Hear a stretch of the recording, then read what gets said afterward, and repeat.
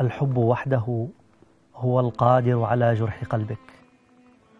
بهذه العبارة الصادمة يقرر نيل يونغ أحد أدوار الحب وكأنه يقول عندما نحب يعني أن نستقبل الجراح ونتقبل الآلام. عندما نحب فنحن في رحلة البحث عن أشيائنا الناقصة عن مقعد خال في نفوسنا عن عتمة الحواس التي تحتاج إلى ضوء مباغت. عندما نحب فنحن ننزع معطفنا المضاد للصمت والكتمان والقلق والحيرة.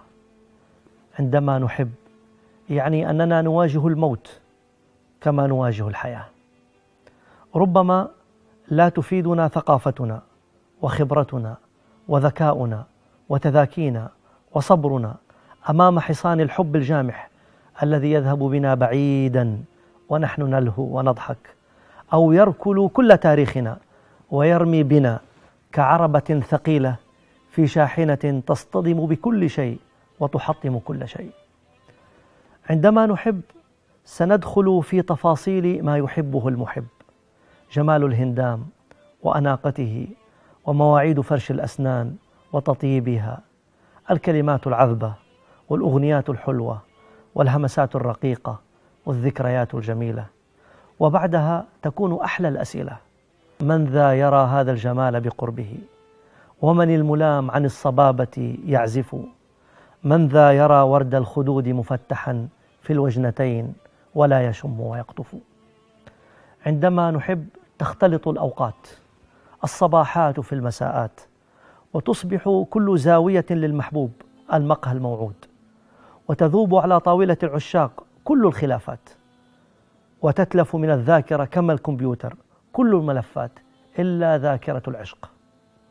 عندما نحب لا باخرة ولا طائرة تستطيع أن تحمل أشواقنا لمن نحب. دائما ما يعيدني حفيف كلماتك إلى الساحل حيث التقينا أول مرة. عندما لحق مدي بجزرك وضعنا.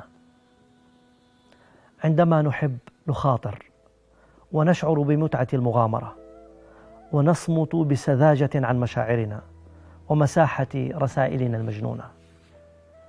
عندما نحب كأننا جلسنا نرسم الآمال فوق الغيم في فرح وننثر فوق عالمنا تراتيلا والحانا. نقشنا الشوق فوق شفاهنا الظمأ وألبسنا هموم العمر أكفانا وكان النور يحملنا وينثرنا على الآفاق ألوانا وكان الحب في أعماقنا يشدو. كطير ضمه كف فغرد بين أضلعنا وأشجانا.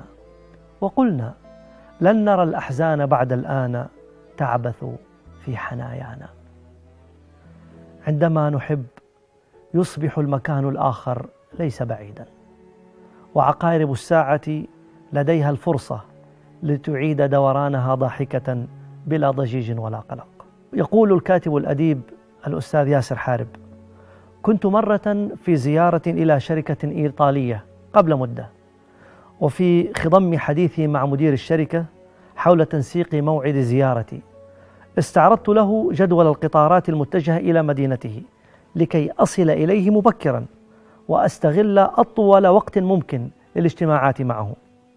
فقاطعني ضاحكا وقال لا تقلق يا ياسر تعال وقت ما شئت. فنحن إيطاليون ولسنا ألمانيين. الحياة يمكنها أن تنتظر وأنا أيضا سأكون في انتظارك. لا تقلق. ثم ضحك وأقفل الخط. عندما نحب تبقى كل ذرة على قيد الحياة. تلتقي الأطيار مع الربيع وتكتسي الأرض سندسها كعروس في ليلة أنسها. وتدهش الجبال إلى كل من يتسلق ويجلس على سفحها. عندما نحب وبصدق وصفاء ووفاء وإيمان توحيدي سنشغل حينها بذواتنا وحسناتنا ونوفر الجهد على أعداء نجاحنا. ونقول لهم شكرا أيها الأعداء. فنحن على طريقة محمود درويش. لا وقت لدي لأكره من يكرهني فأنا مشغول بحب من يحبني.